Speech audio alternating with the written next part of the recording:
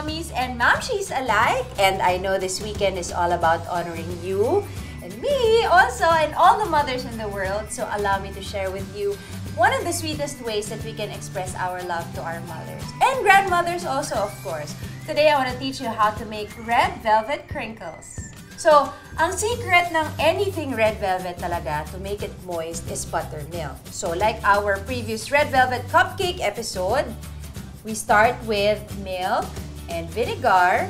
You put them together to make buttermilk.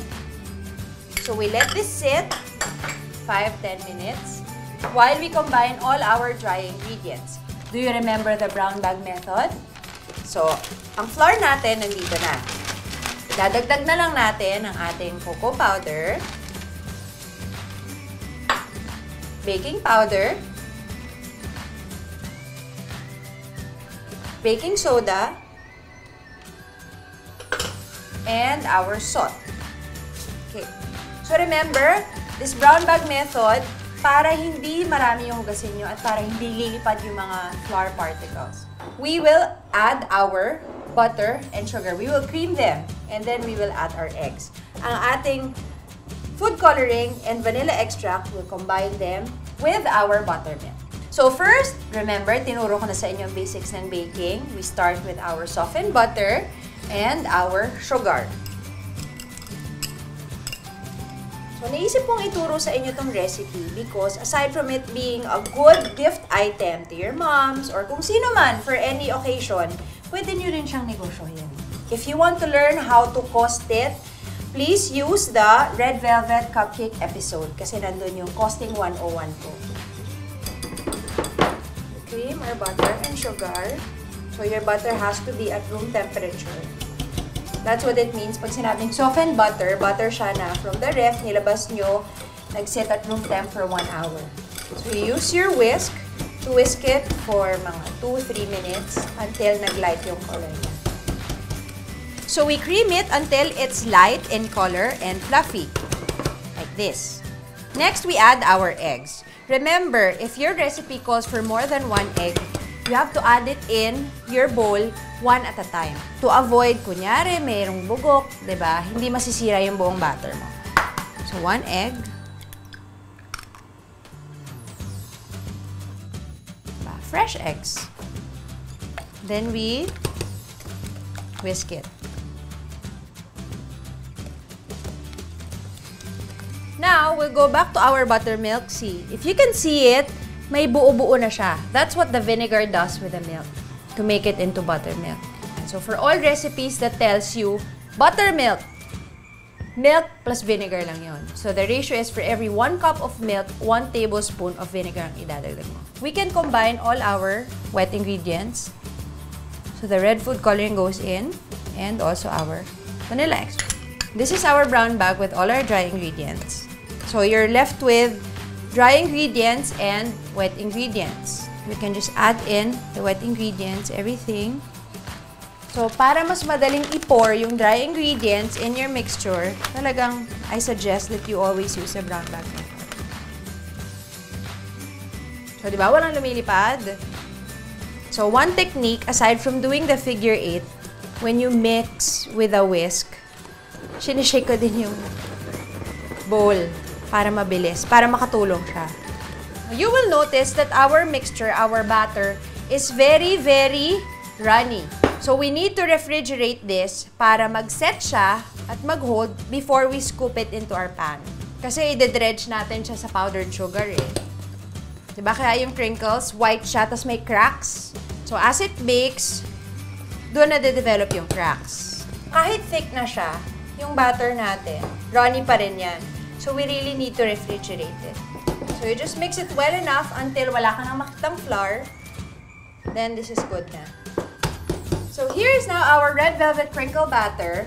Cover natin siya ng cling wrap, then we'll put it in the ref for at least one hour before we scoop, and then we dredge in powdered sugar, and then we bake it. Alright, so ito na ang ating chilled red velvet crinkle batter, or dough. So, at least an hour. It will be this thick. Para pag skinop mo siya, it will hold. And then you dredge it there. and then coat it in powdered sugar. So before you do this, dapat naka-preheat na yung oven mo. Dahil, pagka puno mo ng pan, dapat diretso bake na siya. It shouldn't wait. That's the secret for nicely domed crinkles. Hindi yung flat na parang mukhang tinipid. So like this. And then you give it a gentle tap. Now on to our cream cheese filling. So we only have butter, cream cheese, powdered sugar sifted para walang buo-buo, and our vanilla extract. So we add our softened cream cheese to our softened butter.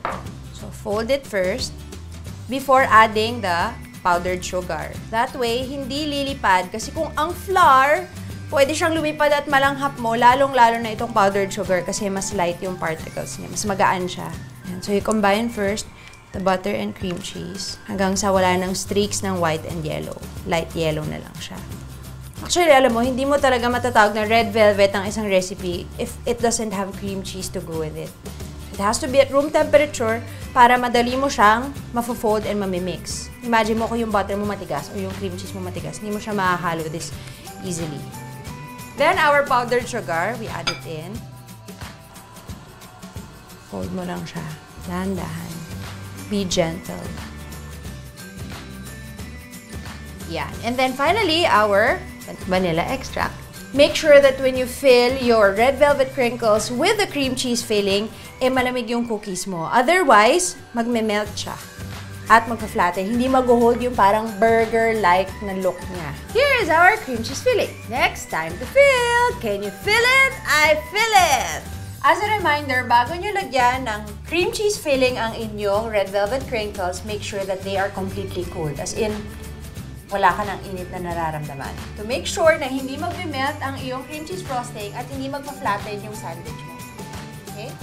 And you can be very generous when you put your filling dahil this is for your mother. Tinipid ka ba ng nanay mo? Kung bata ka, hindi naman, di ba? So, huwag mo siyang titipirin.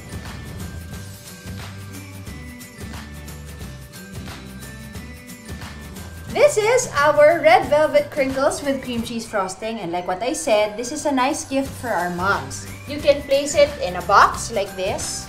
And because this is a nice gift for our moms, pwede natin ilagay sa glass jar, diba? Alam mo yung mga nanay naman natin, hindi naman talaga sila after sa mamahaling regalo.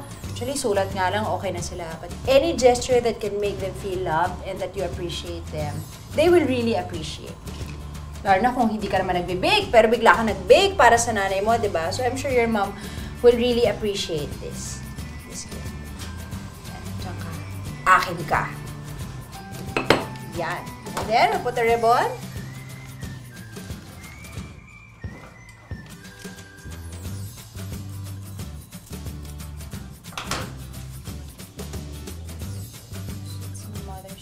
Yan, o, di ba?